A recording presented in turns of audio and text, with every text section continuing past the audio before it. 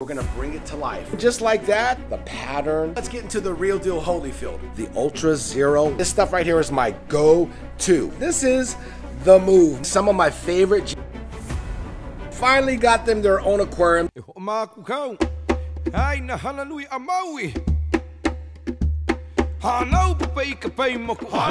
Aloha, my ohana. It is your boy back with another aquatic adventure. Now, if you're new to the channel, we talk about everything in the aquarium hobby.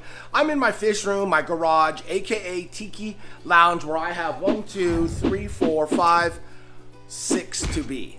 I have six to be aquariums. So I have five running aquariums and then I just installed a new one. And this is kind of part two of the second to last video that I put out.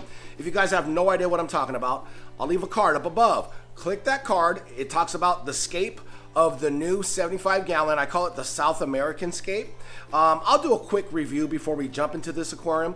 Uh, but today's the day where we add fish and we're gonna bring it to life. Now before we do all that, I've been getting a lot of comments um, on how the Oscars are doing. I have an Oscar Army aquarium where I have five beautiful Oscars in a 180 gallon aquarium. Let me flip the camera around and give you guys a quick update on the Oscar Army. And here is the Oscar Army. As you can see them cruising around, we have five Oscars in here and a Synodontis catfish that lives down in the bushes there. You can barely see it if you look really good. It's right in there. But anyways, uh, let's go over each Oscar. Look at this beautiful red. This is a red Oscar. Just majority of its body is, is like a bright, beautiful orange red. Um, I'm going to zoom in a little bit. Look at them. Look how beautiful. Such a beautiful Oscar. We have my lemon Oscar right here. This is a yellow Oscar. Super hard to find. I mean, for me, they are. To find a true lemon Oscar is really hard. Uh, a lot of fish stores will sell quote unquote lemon Oscars, and then when they grow up, they turn out to be albino.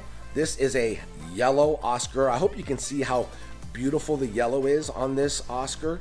Um, if he gives me a side shot, give me a side shot. Come on, give the Ohana a side shot. No?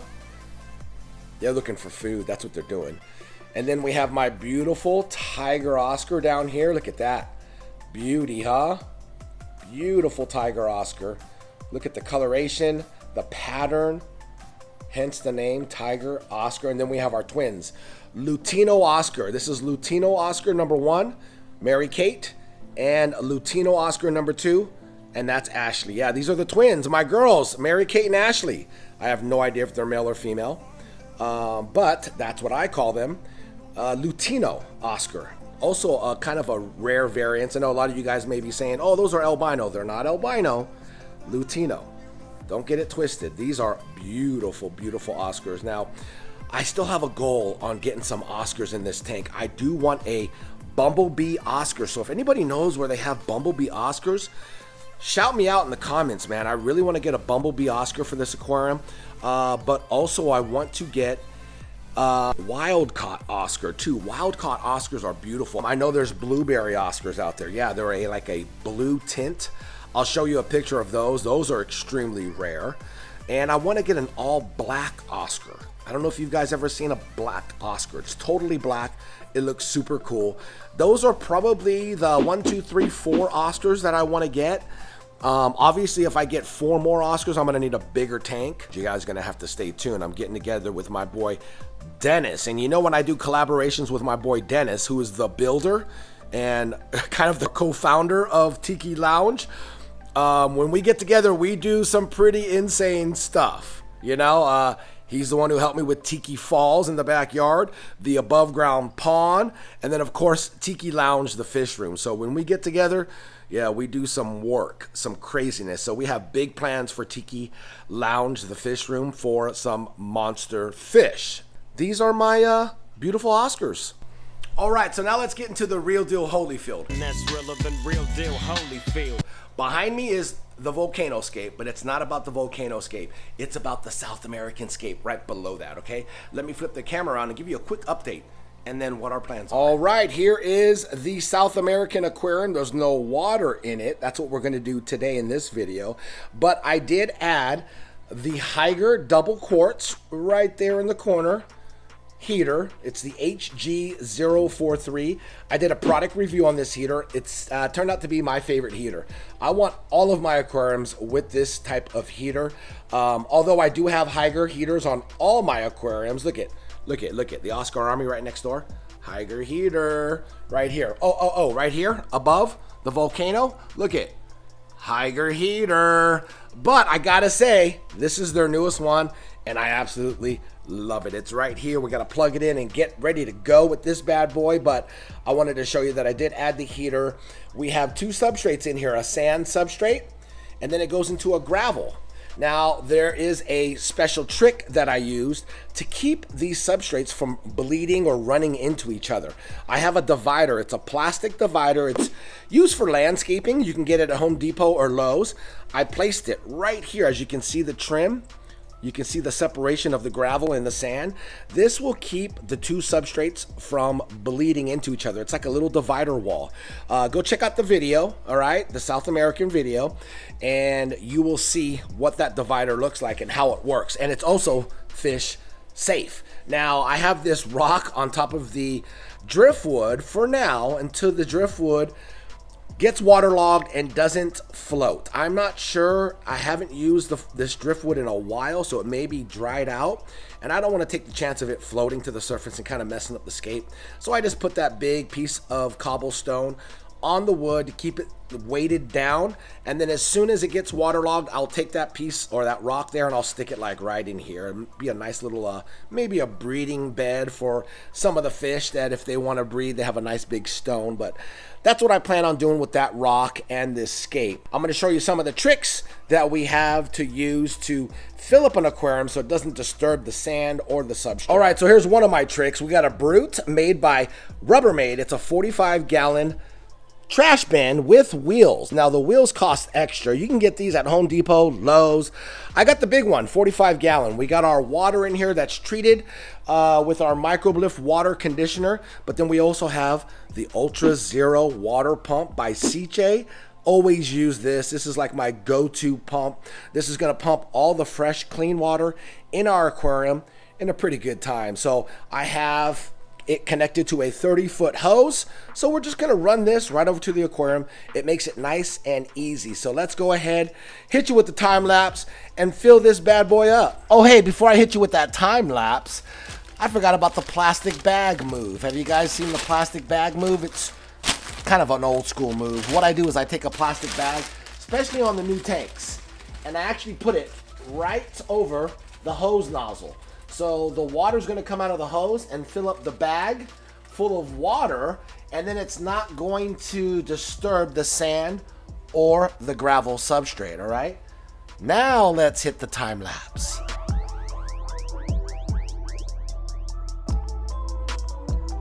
All right, so I had to pick up the camera for you guys, and I wanted to show you how effective the plastic bag move is. Look at the water. Look how crystal clear it is. It's not disturbing the sand.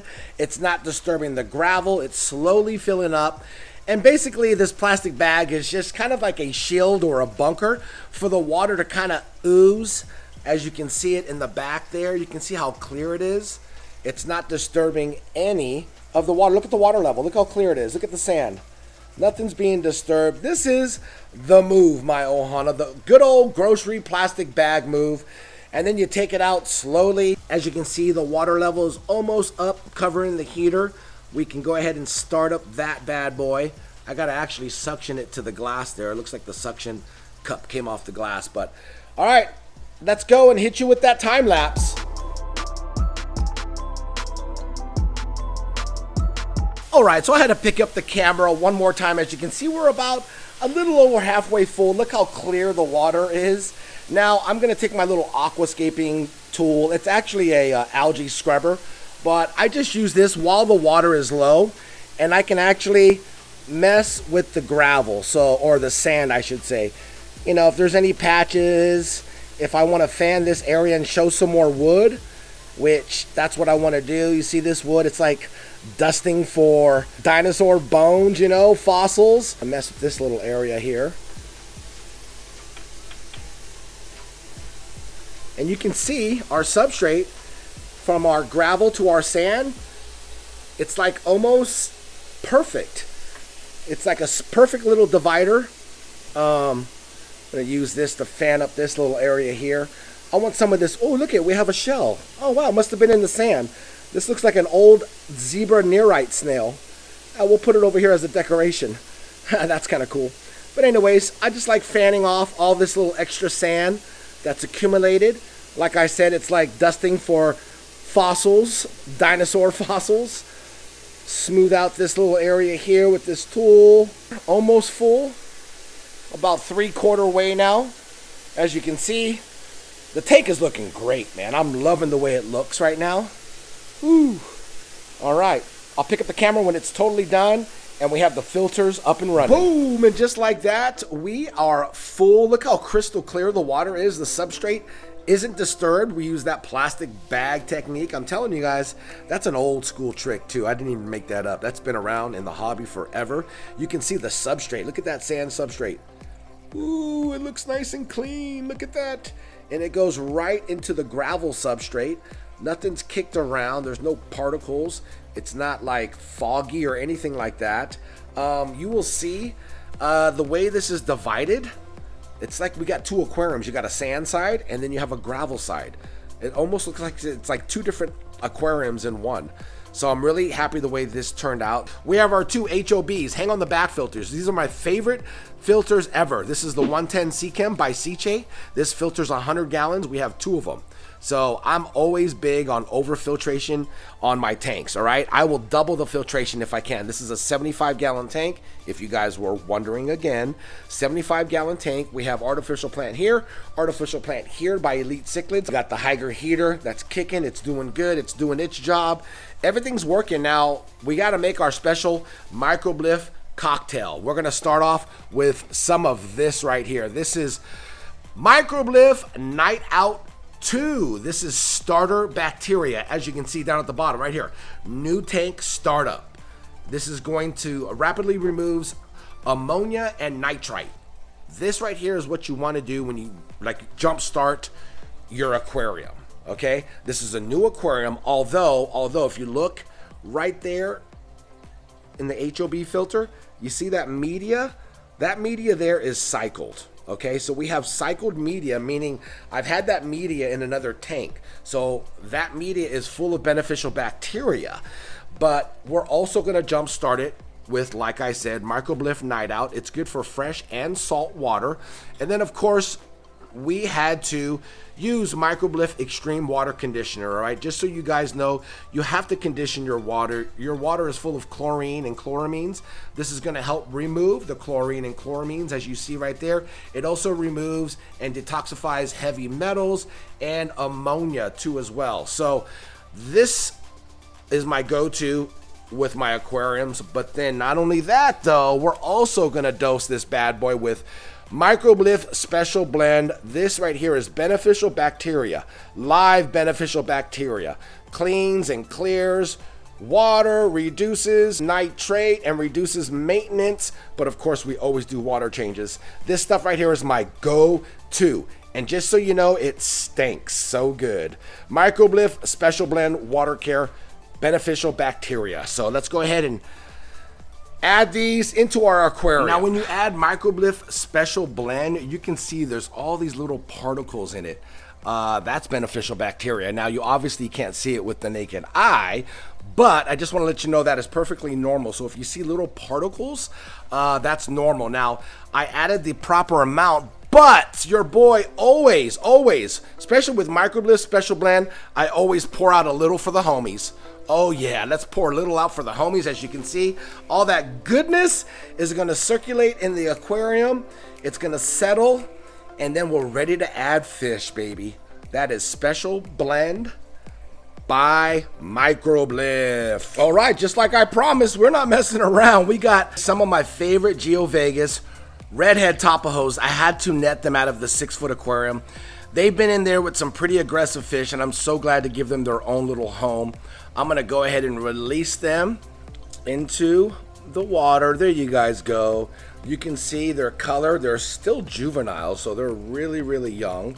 Now, they originate from the Tapajos River in Brazil. Obrigado, Brasilia. They're known as the earth eaters because they sift through the sand and they actually clean the bottom of your aquarium, which is really good. For these guys to really thrive, they love the sandy bottoms, um, like I said, in which they sift through it looking for particles, uh, food particles, uh, cleaning the bottom of the tank. So they are a bottom cleaner for your aquarium or any aquarium, I should say.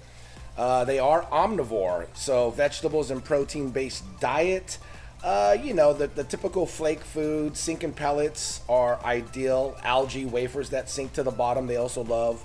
Uh, bloodworms, brine shrimp, and uh, spirulina algae. Not super aggressive for a cichlid. They are considered a cichlid. I know they're kind of hanging out here in this corner here. They're just probably just getting used to their little environment, which is all good.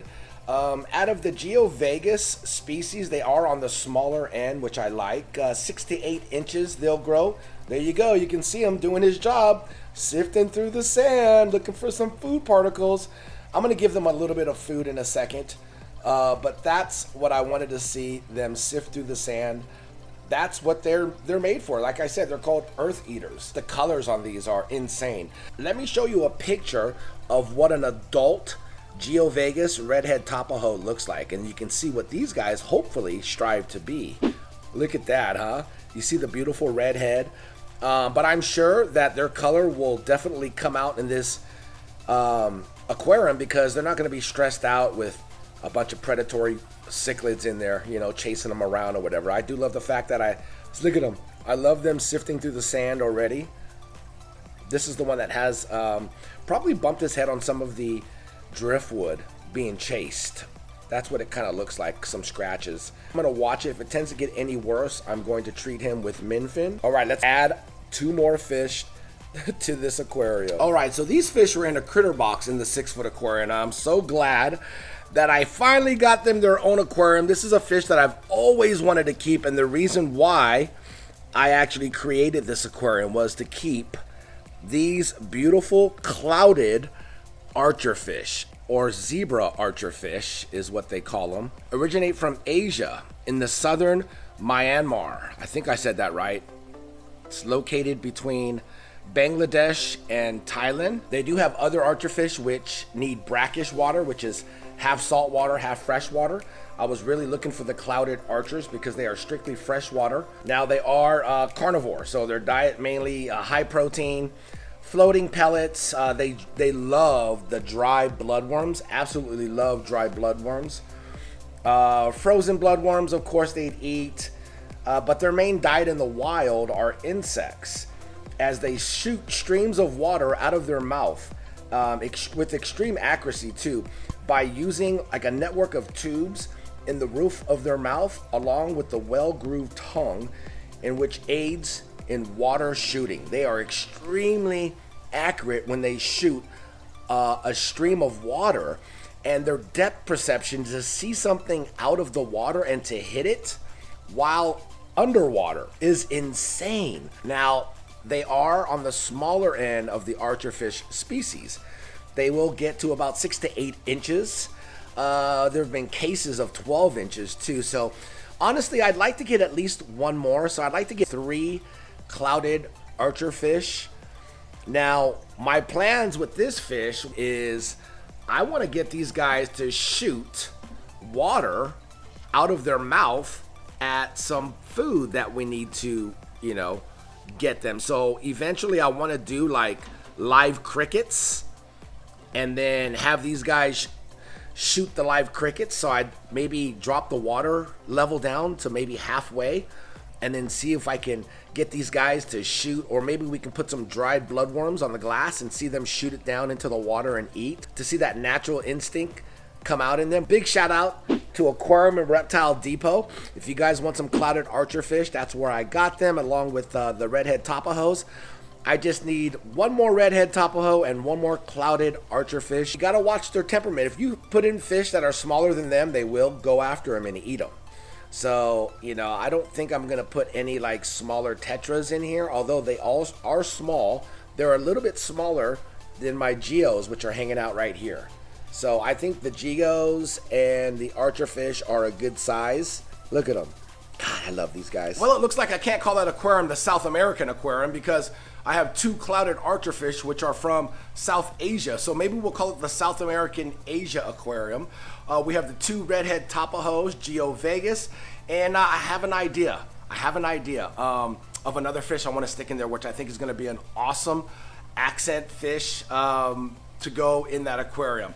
I have to head over to Aquarium and Reptile Depot because I know they have them there. I don't know if they still have them, but I'm gonna double check. Uh, stay tuned for an up and coming video. Speaking of Aquarium and Reptile Depot, go check them out, all right? They have an online store. It is called depotpet.shop. All of their links will be down in the description below. Big shout out to Jeff and Jason, the entire staff.